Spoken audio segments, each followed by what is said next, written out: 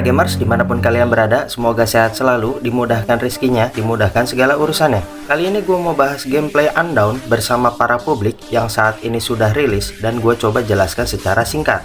Tanpa berlama lagi kita langsung masuk ke intronya.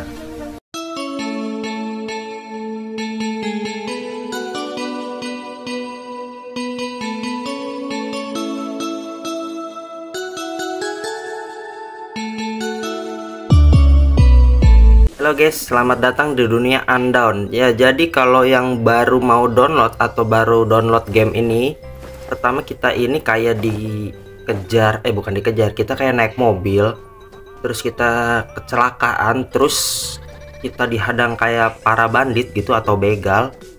Tiba-tiba begal itu eh, diserang sama zombie gitu ya. Nah, di situlah kita kayak melarikan diri juga karena kita dikejar oleh zombie sampai akhirnya kita memutuskan untuk loncat ke laut. Tiba-tiba game ini tuh diawali kayak kita terdampar di pinggiran pantai gitu guys ya. Uh, ya jadi di sini video gameplay ini nih gue mau menjelaskan secara singkat aja awal dari permainan game ini dimulai gitu ya guys. Di sini akan gue potong-potong karena emang uh, tutorial awal ini sangat panjang gitu guys ya. Jadi gue pada inti-intinya aja gitu jadi habis dari pantai itu kita ngambil ransel terus kita jalan ke arah pom bensin terbengkalai gitu kita ngambil macete atau pisau dari mayat ngadepin beberapa zombie tadi di depan terus kita masuk suruh ngambil uh, makanan kaleng gitu ya walaupun kosong. Terus di sini kita suruh ngecek buku. Terus di sini kita suruh ngecek kotak Oh ternyata di sini senjata guys, di sini ada shotgun. Ya, jadi kurang lebih game ini seperti perpaduan PUBG dan Life After ya menurut gua ya. Ini dari cara uh, tata letak apa sih namanya uh, kontrolnya. Oh di sini ada zombie nih guys. Oke, okay. di sini ada lagi. Langsung gue skip aja guys ya jadi di sini kita langsung kayak dikasih motor gitu guys kita suruh benerin dulu bentar nah motor ini akan menemani kita ke mana-mana gitu. Jadi kalau di PUBG itu kan uh, kita nyari gitu ya di pinggiran jalan. Biasanya kalau ini di mana pun kita kita bisa manggil nih kendaraan kita entah motor entah mobil gitu. Nah di sini ceritanya kita nih kayak dihadang oleh penjaga gitu ya guys ya. Terus di sini kita kayak harus laporan dulu. Di sini juga prosesnya lumayan panjang gitu. Jadi gue skip. Ini langsung ke dokter ya dokter Mikael di sini tuh kita kayak uh, masuk ke dalam apa ini ya kayak asrama gitu ya kayak jadi kalau para Raven baru gitu Raven tuh bahasa istilah game ini gitu guys ya jadi kalau pendatang baru tuh datang terus langsung daftar tuh di depan ketemu penjaga terus daftar lagi. Ada beberapa urutan kalian ikutin aja.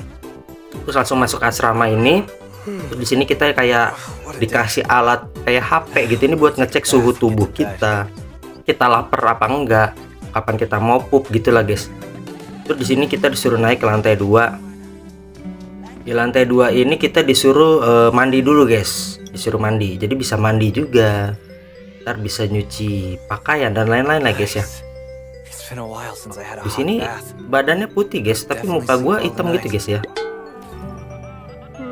oke udah kelar mandi. Terus di sini tuh kita disuruh tidur guys.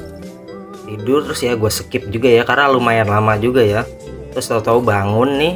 Untuk bangun kita disuruh ngelihat jendela gitu guys. Lihat jendela. Terus di sini kita suruh ngecek juga uh, tentang badan kita kayak kesehatan mental kita tubuh kita dan lain-lain. Pokoknya di sini tuh alat ini tuh berguna kayak buat kita nih lagi lapar apa enggak tuh? Tuh kan ada kayak di pojok kiri atas tuh ada kayak uh, gambar lambung gitu guys ya.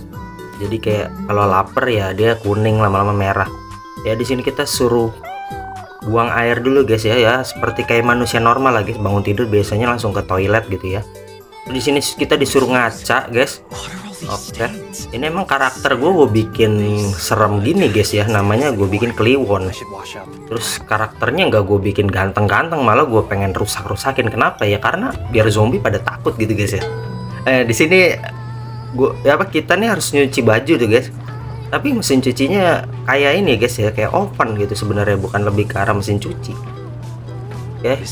Oh, udah udah udah bersih nih guys ceritanya guys. Tanpa dikeringin basa-basa kayak langsung dipakai nih guys oke kita langsung pakai aja. Tapi ini ada apa nih? Ada kolor kita kayak oh enggak enggak. Kita langsung keluar aja kayak guys. Habis keluar ini kita kayak laporan-laporan juga dulu nih guys ke penjaga ini. Cuma gue skip. Terus gue langsung ngambil ke Catherine nih yang ahli tempur. Nah di sini kita bakal dikasih kayak baju gitu guys ya. Dan equipment lainnya. Jadi baju ini kalau di sini tuh bukan sekedar fashion nih guys ya. Jadi ada uh, menambah apa ya untuk menaikkan uh, apa ya rating gitu. Dan armor gitu. Jadi kalau di PUBG kan kayak cuman fashion aja gitu ya armor ya terpisah gitu. Kalau tapi kalau di game ini uniknya seperti itu guys ya. Jadi pakaian kita bisa nambah uh, rating kita nambah armor kita juga supaya kita kuat. Terus di sini kita langsung disuruh kayak belanja. Kalau gue di awal nih emang langsung belanja beberapa eh semua item ya. Tapi nggak ya nggak dihabisin juga duitnya guys ya. Karena cuman terbatas nih silvernya ini. Dan di game ini juga ada sekitar berapa ya? Empat kalau nggak salah guys. Jadi kayak ada RC RC itu mungkin kalau di PUBG itu UC gitu ya. Kalau di Mobile Legend mungkin Diamond gitu ya. Terus di sini tuh pokoknya ada koin kayak gold silver sama ada RC itu. Sama yang satu lagi ada kupon nah itu pembahasan nanti nanti aja ya guys ya di sini kita mau kayak pengenalan pengenalan aja sebenarnya di sini. Uh, di awal tuh kayak kita harus mengikuti semua tutorial yang emang kadang ada beberapa scene yang harus kita mempertontonkan. Kita harus dipaksa melihat gitu guys ya gameplaynya videonya tanpa bisa di skip gitu ya. Tapi di sini kita disuruh kayak uh, ngerilot gitu guys ya. Jadi habis belanja tuh uh, kotak amunisi terus habis itu gue skip langsung aja kita ini disuruh ke atas. Di sini tuh kita ketemu seri. Seri yang seperti pernah gue jelaskan ya guys. Jadi dia ini adalah petugas medis atau dokter medis yang salah satu orang penting di dunia Andon ini ya. Kita disuruh naik helikopter ini bersama seri. Kita akan menuju suatu daerah eh, bernama Redwood Outpost ya katanya sih kita harus ngebantu di zona ada serangan zombie. Ya gue skip terus kita ini udah sampai di sini guys. Oh bener guys di situ ada zombie. Nah ini ada scene-scene kayak gini guys ya. Jadi video yang harus kita tonton uh, ya udah kita langsung ini aja nih. Ini gue cepetin ya lawan zombie nih ceritanya. Ada udah udah udah udah udah. Kan loncat tuh dia. Nah udah udah kelar. Eh udah, udah masih ada tuh dia. Ngapain ini? Nabrak pintu. Nah udah langsung kita ketemu Nelson. Nah di sini tuh banyak juga guys percakapan-percakapan gitu yang memang kalau kalian malas baca memang agak rumit main game ini guys. Karena banyak percakapan yang ada pentingnya juga sih di dalamnya. Kita suruh ngapain questnya. Terus ini kayak gini nih uh, kita dikasih item gitu. Ya terus kita suruh cabut dulu aja guys. Cabut. Nah ini masih ada zombie lagi. Kita suruh lagi. Wah ada ada bos yang gedut ya tuh guys. Kita tembak ya tembak-tembak gini tuh udah udah rata tuh balik lagi nih ke Nelson gitu kan. Laporan lagi terus ngobrol lagi gua skip terus kita dapat equipment baju kalau nggak salah tadi ya. Ah, iya terus nih gua ambil amunisi lagi terus kita pakai lagi amunisinya nih. Jadi ya kalau ini kan kita udah dimodalin shotgun nih guys dari tadi awal ya. Untuk melawan zombie oh kita dapat apa nih? Uh, topi apa oh naik ke level 3 nih guys. Uh, kita dapat oh, kuplu kuplu aduh uh, agak agak jelek ya. Kayaknya gue lepas dulu deh. Soalnya rambut kliwon ini udah matching guys. Jadi biar zombie ini pada takut gitu guys. Oke coba gimana nih? Ini kita seperti buka ransel guys. Terus oh nih nih ya.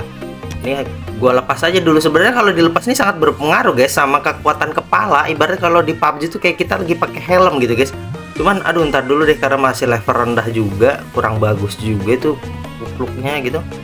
Nah kita suruh jalan ke sono tuh tapi kayaknya videonya cukup sampai di sini dulu guys. Di di sini ada fast travel rambu jalan. Uh, di belakang kita tuh backgroundnya ada redwood. Nah ini rambu jalan ini nanti yang kayak next ke depannya akan menjadi uh, apa sih namanya titik teleportasi kita gitu guys. Jadi nanti di sini game ini juga uniknya bisa pindah-pindah tempat dengan cara teleport gitu. Nggak nggak kayak yang terlalu banyak naik motor atau mobil di jalanan untuk menuju menuju ke lokasi lainnya. Ya oke. Mungkin penjelasannya gitu aja guys ya. Nanti uh, ke depannya gue akan coba kasih gameplay-gameplay tentang Undown lainnya terima kasih telah menonton. Jangan lupa untuk like share and subscribe